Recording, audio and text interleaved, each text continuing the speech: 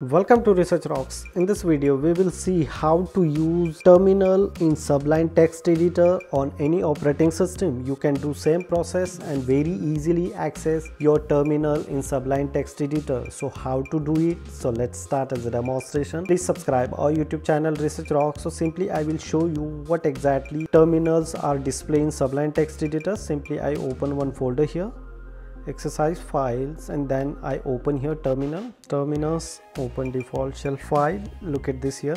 I simply open this function program in python scripting and I run here like simple python function enter.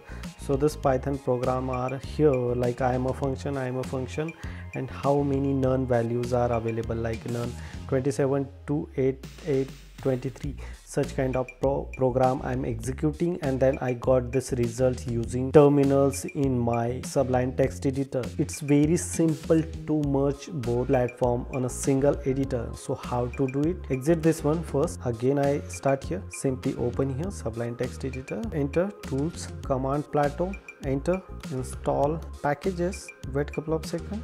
Install packages and just type your terminals here. This is terminals are come. Terminals are installed here in your sublime text editor. It's very simple. So simply again i open here my exercise file again tool palette and just type here terminals open default shell plan and this plans are display here. And directly this one is in my folder because of i open this folder. But i'm not open this folder so this files are open as a root format. It's very simple to install terminals and access Sublime Text Editor in any operating system. Hope you like this video. Before leaving, please subscribe our YouTube channel and follow me on Instagram. Same Research Rocks. Till then, Jai Hind, Vande Mataram.